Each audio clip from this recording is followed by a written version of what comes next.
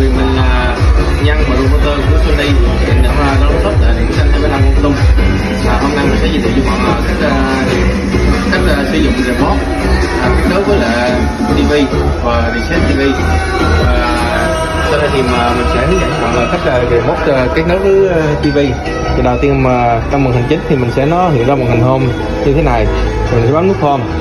Và sau đó mình sẽ đi cái chuột khỏe di chuyển qua tới nút cờ đẹp cái bánh rang và mình bấm là ok. Mình kéo rổ chuột xuống dưới.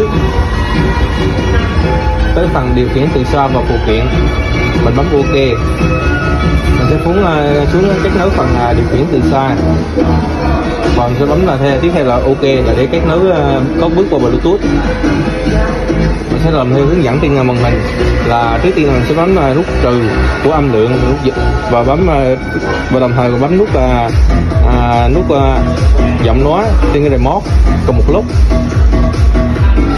Trong phần giữ cái tầm 3 giây thì uh, chip đèn nó sẽ sáng này và TV mình nó kết nối với lại remote khi uh, kết nối thành công thì uh, nó sẽ hiện bố trên ờ, màn hình.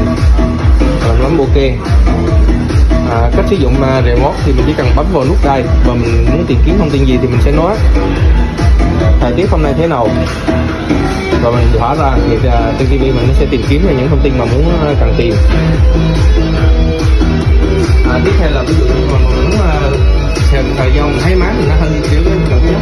Thì mình sẽ một phần à, uh, reset máy lại để cho nó khởi động lại cho máy mình sẽ nó chạy mượt hơn.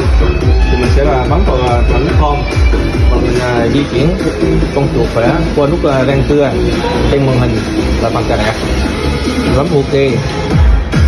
Xuống phần hệ thống. Mình sẽ kéo xuống phần khởi động lại. Bấm ok thì à, TV mình sẽ được à, khởi động lại đó là một à, số tính năng